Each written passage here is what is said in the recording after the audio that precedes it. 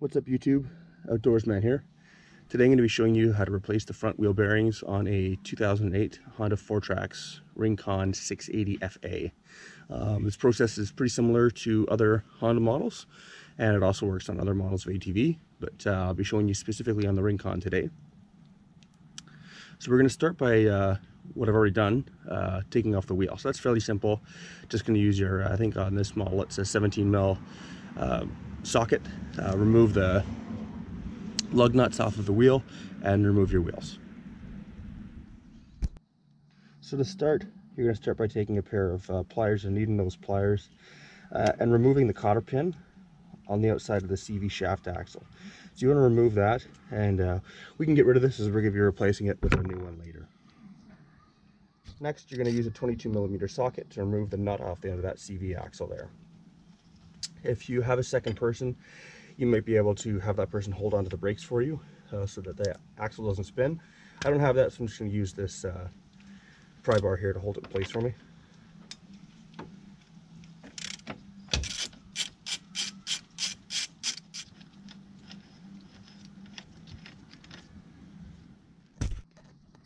So next we're going to be removing the brake caliper assembly here. So there's two, should I get in here and show you? There's two bolts that go through the caliper assembly here. These are an 8 millimeter Allen key. There's one here, one down here. We're just going to be removing those and pulling the caliper assembly off.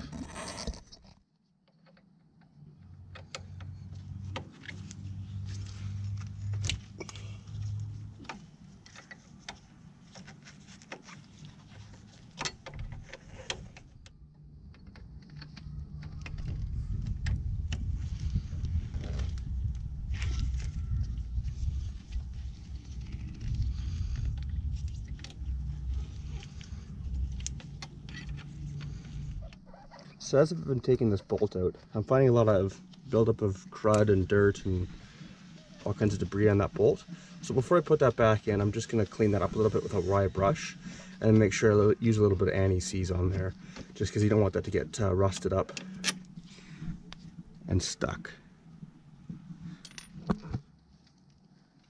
Next, we're going to remove this brake caliper off of the rotor. Just going to give it a pull And uh, this is a good opportunity for you to take a look at your brake pads here, just see how they're doing. Uh, these ones aren't worn out yet, I've just checked them fairly recently, but this is a good opportunity to kind of take a look and inspect your brakes. Uh, when you put your brakes up here, just make sure they're out of the way, but that they don't fall down. You don't want these getting damaged. You don't want that line here, your brake line, getting damaged at all. Just kind of tuck it up out of the way. Uh, and if need be, you can use a bungee cord to kind of keep that up out of the way as well. Next, we're going to remove the hub off of the CV axle end here. Uh, so this is normally when you're going to find your play with your wheel bearings which are inside of here. Uh, these ones as you can see aren't very bad. There's not a lot of play for them back. Uh, but because the other side was so bad, uh, when I bought the kit I got both uh, sets.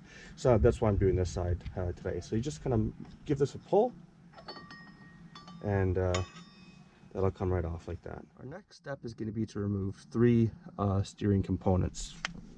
The first is going to be our tie rod, which is right here.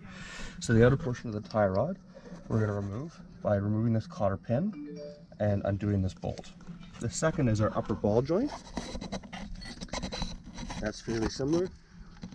There's going to be a cotter pin in this king nut right here. We're going to remove that cotter pin and remove that bolt of the upper tie rod. The third is the lower tie rod, which is right here. So once again, it's got a cotter pin going through the bottom. We're going to remove that and remove this nut.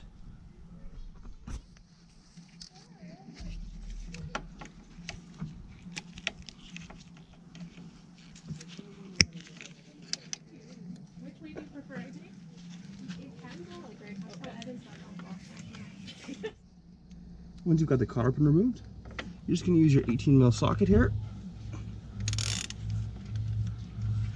and remove this nut.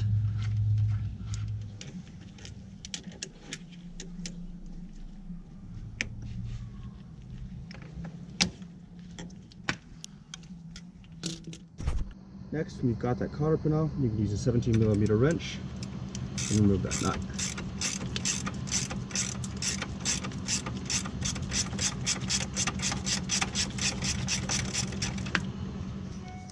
step, we're going to remove this tie rod.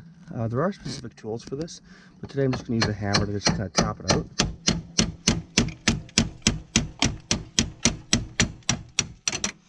You just want to make sure that you're gentle and uh, don't damage the tie rod itself. I'm just going to kind of set that out of the way.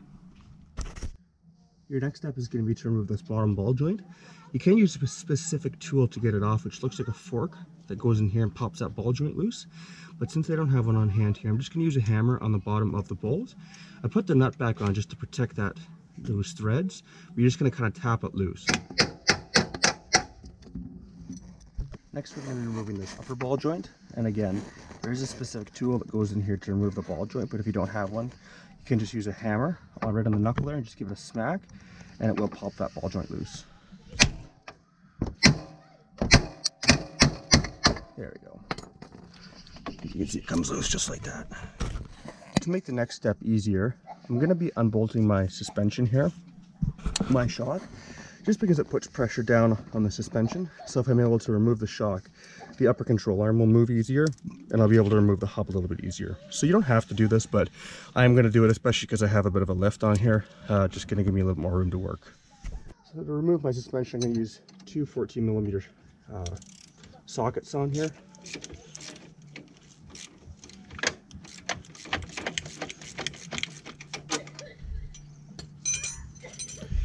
And I'm just going to remove the suspension here. And like I said, that just allows this upper control arm to move more freely. And as you can see, everything comes apart nicely like that.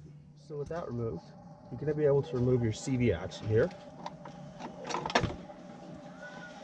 And you're going to be able to remove your hub itself. And that is inside where your wheel bearings are. So what we're going to do is you're going to use either a screwdriver or some kind of a pry bar or what I've got here is a seal puller and there's a seal on the outside of this uh, hub here that we're gonna have to pull out. So you want to be gentle with it if you're planning on using it again. I'm not because the kit comes with a new seal, so we're just gonna pop it out like that. Inside you can see the bearings and the little snap ring that uh, holds them into place. Next, we're going to remove the snap ring that holds the bearing in place. To do that, you're going to need a pair of snap ring pliers. Uh, I can't think of any other good way to get this out other than using snap ring pliers so if you don't have any you might have to go buy them we're just going to compress that snap ring and just pull it out like that and be careful when you let that go as they can go flying sometimes too they're under pressure next we're going to flip the hub over then we're going to repeat those same two steps so start by pulling that seal out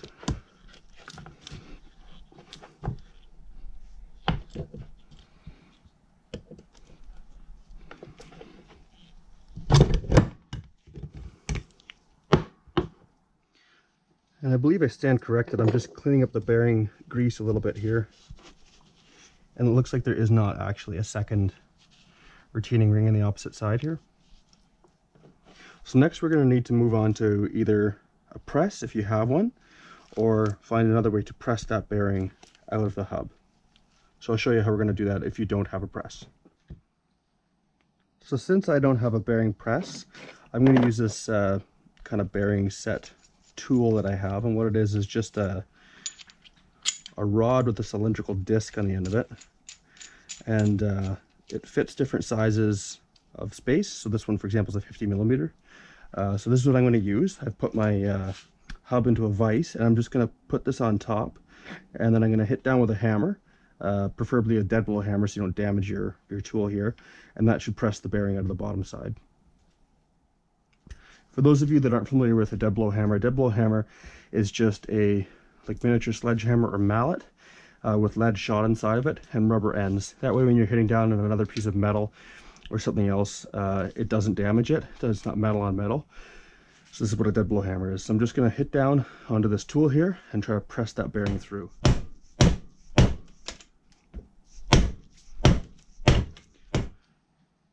So I've switched up to a 44.5 millimeter. I think the other one was just getting caught on the edge of that racer there. So I'm just going to try a little bit of a smaller one here. And as you can see, I've switched to the regular sledge just to get a bit more weight on it. And there we go.